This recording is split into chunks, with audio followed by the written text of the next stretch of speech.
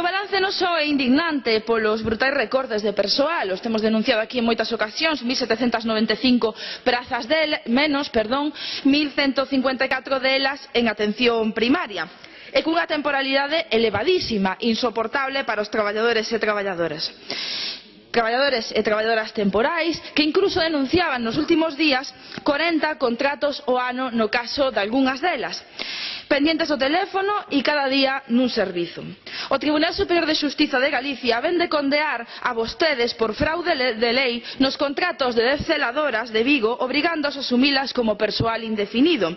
acumulando contratos por acumulación de tarefas dende setembro de dous mil nove. Así estamos. Vostedes nos usan o persoal sanitario con total impunidade máis sobre todo as que somos eventuais. E non só tampouco nos parece indignante tampouco a súa xestión pola eliminación solo das catrocentos camas dende que vostedes gobernan. Peche de camas que se produce mentres incrementan esas listas de espera. En vigo pechaban agora dúas plantas máis dúas salas máis dese hospital meixoeiro a pesares do desdobramento de camas. Coñecemos eh, a día de hoxe tamén esa denuncia de demoras de tres anos para intervirse no hospital de compostela ou oito meses de demora nas consultas de revisión de pacientes oncolóxicos non só é indignante polas privatizacións e non só é pola súa fallida política farmacéutica vacina de meningitis, fármacos de hepatite c repagos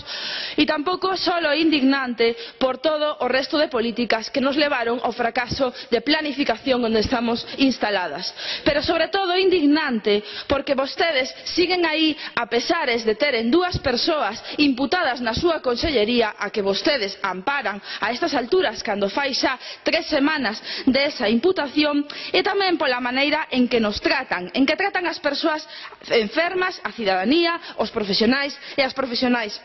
son quenes de compararnos con más limpas, de expulsalos do Parlamento, de mentirlles e logo cuestionar as súas protestas. Son incluso vostedes quenes de amenazalos con eh, eh, sancións se si siguen protestando nos hospitais. Eu pregúntome se ese é o seu compromiso coa ética e pregúntome, polo tanto, e a vida conta que todo o que veño de relatar evidencia a súa fallida política en materia sanitaria e tamén a do señor Feijó, se si vostede, señor conselleiro, vai asumir Eh, o fracaso do seu modelo sanitario Gracias. do señor Fijo. Gracias, señora Solla.